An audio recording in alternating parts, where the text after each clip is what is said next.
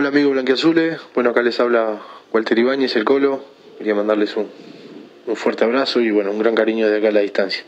Bueno, el motivo de este audio es únicamente para, para desmentir totalmente lo que se ha generado a nivel de prensa, en el cual, bueno, eh, se está manifestando de que yo le estoy poniendo condiciones a, Alianza Lima, lo cual es, es totalmente falso.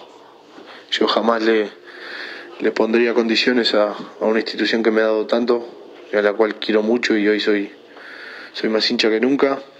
Entonces, bueno, aclarar eso que es totalmente falso y bueno, mucho menos pedir, pedir la salida de un entrenador como condición. Eso sería algo, algo que no lo haría nunca. La Alianza Lima para mí es, fue lo más importante que me pasó en mi carrera.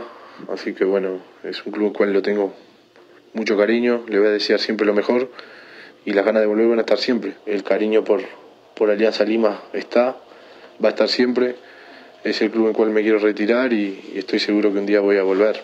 Hoy me debo a, a Universidad Católica, que es mi presente. Tengo contrato con Universidad Católica y lo tengo que respetar, así que no sería poco profesional estar pensando en, en irme. Así que quería aclarar eso nada más y bueno, y hacerle llegar el mayor del cariño y el respeto a toda la gente de Alianza.